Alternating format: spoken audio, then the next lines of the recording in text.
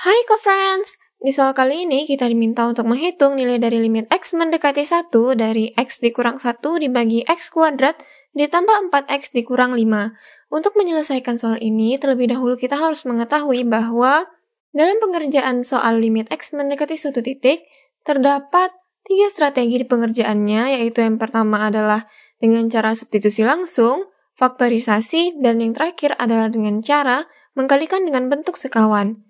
Nah, untuk soal kali ini kita akan mengerjakan dengan cara faktorisasi, di mana limit x mendekati 1 untuk x dikurang 1 dibagi x kuadrat ditambah 4x dikurang 5, di mana kita akan mencari faktornya yang merupakan angka yang apabila dijumlahkan sama dengan 4 dan apabila dia dikalikan hasilnya adalah negatif 5.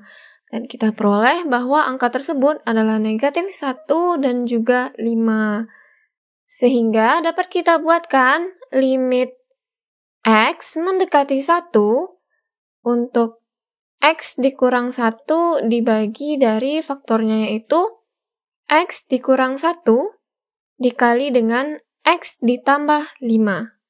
Sehingga dapat kita sederhanakan sehingga kita peroleh limit X mendekati 1, 1 per X ditambah 5. Lalu kita masukkan nilai X-nya, sehingga kita peroleh 1 per 1 ditambah 5 sama dengan 1 per 6. Sehingga kita peroleh bahwa hasil dari limit tersebut adalah 1 per 6.